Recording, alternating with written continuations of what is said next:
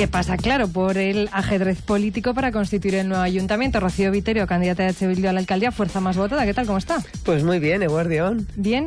Bien, muy bien, la verdad es que sí. Bueno, han empezado ya los eh, contactos, digamos, físicos con los grupos para bueno, para investirse usted como, como alcaldesa. Bueno, nosotras además lo dijimos desde el comienzo. El día 28 eran las elecciones, la ciudadanía además eligió, eligió a EH Bildu como fuerza mayoritaria, además como esa fuerza progresista del cambio que queríamos para Gasteiz.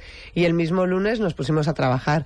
Llamé a los tres grupos políticos, llamé al, Partido Socialista, al PNV y al Carrequín para poder concertar agendas, para podernos reunir y hacer ese proyecto de un gobierno compartido que dé respuestas a la ciudadanía, que ese es el objetivo por trabajábamos antes del 27 y por el que vamos a seguir trabajando día a día. Entonces, bueno, ya, hemos tiene reuniones concertadas. Pues de, en cada uno de los grupos hemos recibido una respuesta, todas positivas, pero hemos recibido una respuesta diferente con cada uno de ellos. Por ejemplo, con la candidata, con Beatriz Artolazábal, directamente me puse en contacto con ella y ella me dijo que ella prefería que lo llevase el partido la negociación, por lo tanto, el coordinador de también desde AH Bildu se ha puesto en, contacto. con su coordinador político en Araba y está pendientes de cerrar agendas, ya han tenido contacto, pero ha sido una aceptación propositiva para poderlo hacer. Con el Carrequín Podemos nos vamos a juntar muy prontito, además, ya vamos a plantearlo, y también con el Partido Socialista. Hablé directamente con la señora Echevarría y entonces planteó el reunirnos y estamos esperando a concretar agendas. Así que en estas estamos en trabajar por dar respuesta y hacer un gobierno lo más amplio posible. A eso iba PNV, PS, eh, Podemos. ¿Cuál es su idea? ¿Hacer un gran gobierno? ¿Que entraran todos esos partidos que hemos nombrado en el gobierno? ¿O cuál es la idea que tiene H. Bildu? La respuesta siempre decimos que trabajar de un modo compartido y compartir con diferentes al final te hace dar una respuesta más adecuada porque respondes a las necesidades de la ciudadanía y siempre hemos dicho pactos amplios para poder dar respuestas a lo que necesita la gente en Gasteiz. Por lo tanto, nosotras ahí planteamos poderlo trabajar, llegar a esos acuerdos, esos acuerdos de vivienda, esos acuerdos de cuidados, esos retos que teníamos como ciudad los seguimos teniendo y entonces hay que trabajarlos de un modo compartido.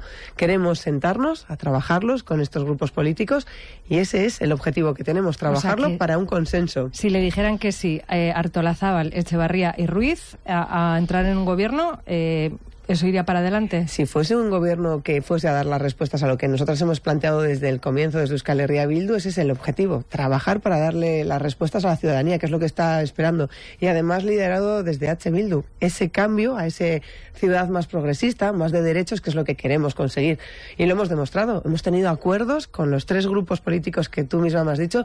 Tenemos acuerdos vigentes ahora, hemos trabajado y en las instituciones, tenemos acuerdos compartidos en ayuntamientos de Araba, hacemos hacemos acuerdos también en Madrid, hacemos acuerdos en Parlamento, por lo tanto, tenemos esa capacidad de negociación y la vamos a demostrar. O sea, un gobierno amplio, lo más amplio posible. Siempre que dé respuesta a la ciudadanía y a lo que necesita la gente de Gasteiz, ese es el objetivo que tenemos, eso es lo que nos vamos a marcar. Ayer hablaba el Carrequín, decían que ellos con el PNV no. ¿Cómo lo ve? Nosotras lo hemos dicho siempre, respuestas los mismos problemas que presentábamos y que decíamos que la ciudadanía necesitaba, o sea, las necesidades que la ciudadanía tenía ese día 27 las sigue teniendo hoy. Por lo tanto, hay que trabajar esos acuerdos amplios para llegar a acuerdos, no de mínimos, porque tienen que ser unos máximos realmente, porque nosotros nos planteamos dar respuesta a problemas reales de la ciudadanía. Nosotros vamos a trabajar por llegar a acuerdos y eso es el objetivo que tenemos. Pero si el Carrequín pone esa línea roja con el PNV, eh, se cae, digamos, una posibilidad de ese gobierno amplio del que usted nos hablaba. Nosotros vamos a seguir trabajando para llegar a esos mínimos de acuerdo que para nosotras son fundamentales. Y hay muchas partes, mucha parte que tenemos que compartir. Hay problemas en la ciudad de vivienda, de cuidados, de salarios. Y entonces hay que sentarnos a trabajar para llegar a esos acuerdos y darle respuesta.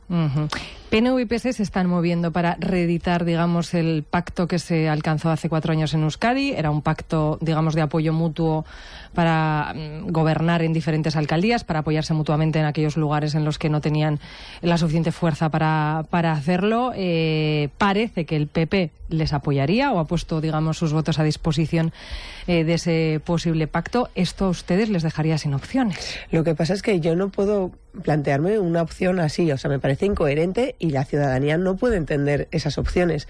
¿Qué comparten, por ejemplo, un partido socialista con un partido popular cuando estamos, estamos escuchando continuamente que no tienen un proyecto común ni que tienen unos objetivos de modo común? Nada, no comparten nada. Entonces, tendrían que preguntarse ellos para qué quieren gobernar. Nosotras queremos gobernar para darle respuesta a la ciudadanía. ¿Para qué quieren gobernar ellos? ¿Para conseguir un puesto? para seguir dentro de las instituciones. Aquí hay que preguntarse para qué. Y nosotras tenemos claro para qué queremos gobernar en Gasteiz. Queremos gobernar de un modo compartido para darle respuesta. Entonces, serán otros quienes respondan. Cuando no comparten un proyecto, no comparten una ley de vivienda, no comparten el modo de empleo, no comparten los cuida el modo de cuidados. Cuando no comparten un proyecto, eso es lo que quieren. Tendrán que explicárselo también a la ciudadanía. Nosotras tenemos claro que es el momento de acordar y es el momento de acordar. Lo hemos planteado tenemos que tener esas reuniones, y las vamos a tener ya en muy poquito tiempo. ¿Cuánto es muy poquito? pues claro, nos estamos, ¿Hay alguna esta semana? Nos estamos moviendo en, muy poquitas fechas porque hay que llegar a esos acuerdos. Pues el 17 está ahí. Por eso, así que estamos con ello y hemos recibido esa buena aceptación de todas las reuniones y estamos en cuestión de agenda, además atendiendo a lo que la otra parte nos han pedido en función de, de nuestra petición de reuniones. Así que en esto estamos trabajando. Tenemos dos semanas para hacer ese gobierno amplio y eso es lo que vamos a hacer, seguir trabajando. Lo mismo que hemos hecho en estos cuatro años de legislatura, vamos a seguir haciendo en estas dos semanas que tenemos por delante. O sea, que el apoyo del PP al Partido Socialista usted lo ve poco orgánico. Me parece que serán ellos quienes tengan que responder cuáles son sus objetivos. Estamos viendo continuamente cómo en Madrid no tienen nada en común, no comparten un proyecto ni un modelo de ciudad. Ellos sabrán. Nosotros sí tenemos claro cuáles son nuestros objetivos y cómo hay que trabajarlo y llegar a esos acuerdos. Eso tendrá que responder quien quiera llegar a la alcaldía en esas condiciones. Nosotras queremos llegar a la alcaldía para darle respuesta a la ciudadanía, que lo hemos dicho y es lo que la gente de Gasteiz ha votado.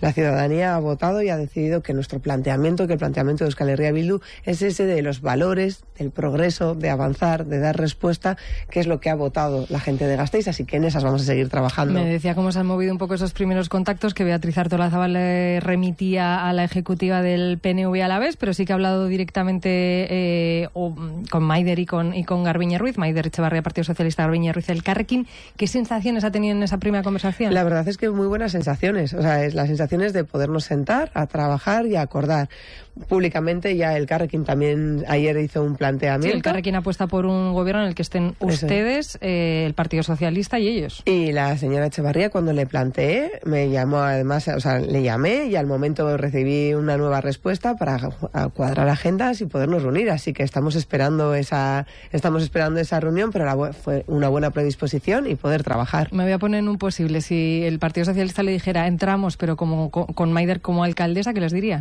Bueno, lo que queremos hacer es darle respuestas a la ciudadanía. Y además, cuando gobernamos de modo conjunto, hemos dado respuestas importantes. Esa ley de vivienda, cuando hemos mejorado las pensiones, hay que sentarse, hay que dar respuestas y eso es lo que espera la ciudadanía. ¿Optimista? Muy, muy optimista, pero muy optimista porque quiero realmente que lo que ha votado la ciudadanía, ese cambio y ese progreso se va a venir de la mano de Euskal Herria Bildu. Lo hemos demostrado en esta legislatura, en, esto, en esta campaña electoral también, cuando hemos llegado con esos valores y esa cercanía a la gente, y eso es lo que quiero, que la alcaldía de Gasteiz tenga esa cercanía con la ciudadanía. Rocío Vitero, gracias por estar este ratito en Cadena Ser Vitoria. Seguiremos hablando estos días seguro. Seguro, muchísimas gracias.